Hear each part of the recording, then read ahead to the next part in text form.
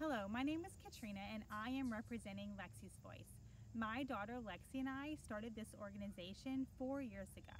Our purpose for starting Lexi's Voice was to give children that have been abused or experienced any trauma a voice in a safe place. After a long fight in our own family, we realized how few children actually get an opinion in their own lives. With Lexi's Voice, we hope to give these children a safe space to speak and be heard. Since starting Lexi's Voice, we have expanded to not just educating the victims, but any youth. Youth do not have to have a story to be welcome into our program. We teach about being friends, not bullies, the difference between a gift and a bribe, healthy secrets, ways to cope with anxiety, how to express feelings in a healthy way, and more.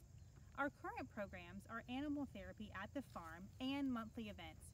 We also have a program delivering packets with lessons plans, crafts, prizes, all based on Lexi's voice values.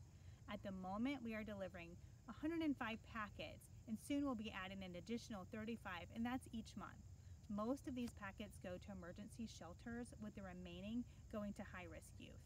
We never want a child not to be able to come to our program because of being able to afford it. So all of our services are free. That includes the packets, the events, the food, everything that they do, it's free. Indiana ranks in the top 10 for child abuse in the nation. That's disgusting. With funding from SOUP, we will begin offering Fridays with Friends, which is a complimentary program that will take place twice a month at an indoor central location near downtown Fort Wayne. With Fridays with Friends, the children we serve will have the opportunity to come together in small groups. They'll receive a meal and will participate in games, discussions, and empowerment activities. Fridays with Friends will be our winter program so we don't have to subject the kids to the cold at the farm. While we are eager to expand our services by offering this new program to the vulnerable young people we serve, it would be difficult for us to do so without funding from SOUP.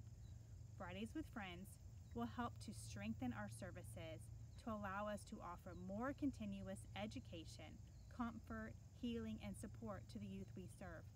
Vote for us so we can continue to have our programs to teach the kids to stand strong and speak loud.